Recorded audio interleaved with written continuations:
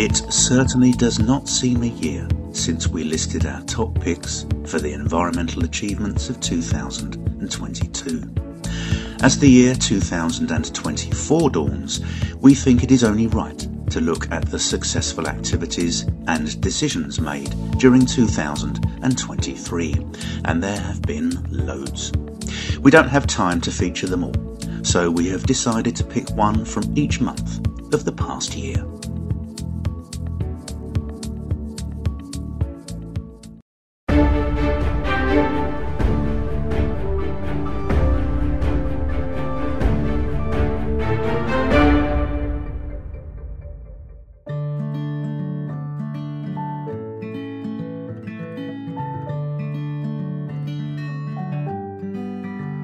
January 2023 saw Warsaw become the first Polish and Eastern European city to endorse the Fossil Fuel Non-Proliferation Treaty, a global initiative advocating for a rapid transition from coal, oil and gas.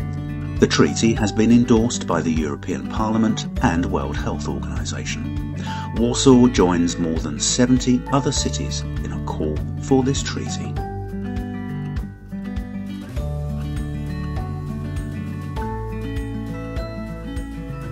In February, it was announced that Australia will make an area the size of Germany a marine protection zone, tripling the Macquarie Island Marine Park in the Southern Ocean. This zone will protect millions of seals, seabirds and penguins. The Marine Protection Zone will increase the amount of protected area in Australia's oceans to 48.2% or 388,000 square kilometres.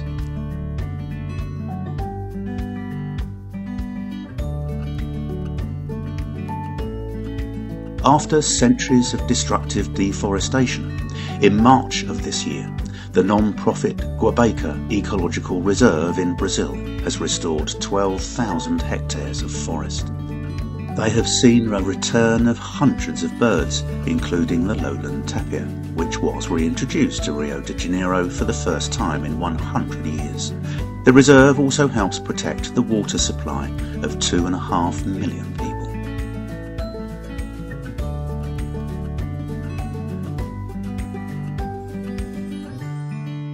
Decades of reduced freshwater inflows, urban development and pollution have all but destroyed Wadi Gaza's environment. In April, a recent project by the United Nations Development Programme was declared, aiming to rehabilitate the area as a nature reserve and coastal wetland. In the last two years, this project has allowed cleaner water to flow into the valley.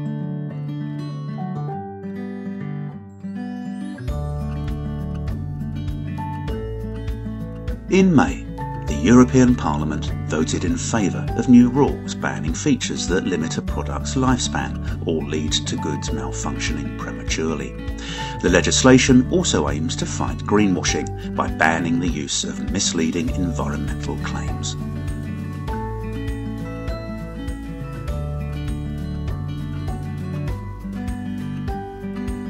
In June 2023, came the announcement of the Aka Aka programme, which will focus on restoring 193 kilometres of coral reefs in Hawaii. Community leaders and cultural practitioners will use their traditional knowledge to help guide the restoration. These reefs have been in decline for 50 years. Please do remember to like and subscribe to the channel if you are enjoying this content.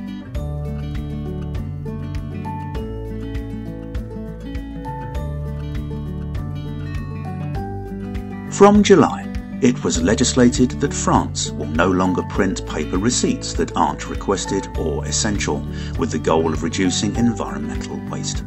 Such paper cannot often be recycled, so this is excellent news.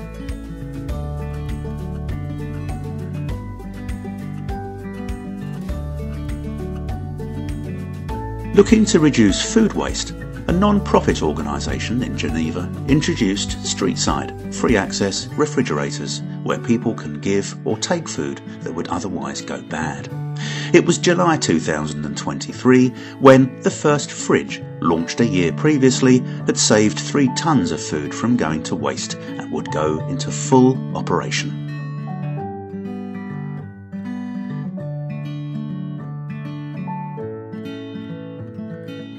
Embracing solar energy in the perpetual winter darkness, Norway's Svalbard archipelago is now home to the world's most northern solar panels.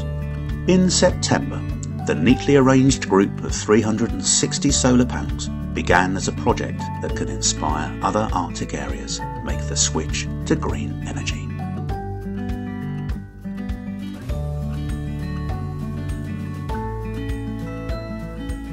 In October, Seattle startup Atomo Coffee unveiled the world's first beanless coffee.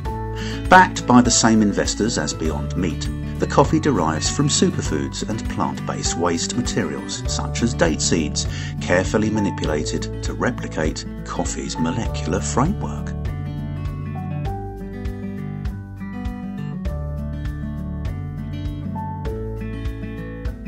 In November 2023, a green corridor was planted in Rio de Janeiro's rural interior.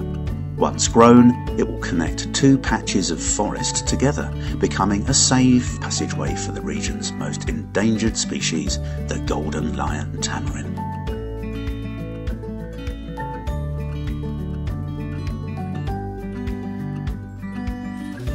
Finally, we arrive in December so often a month associated with overindulgence and unnecessary waste.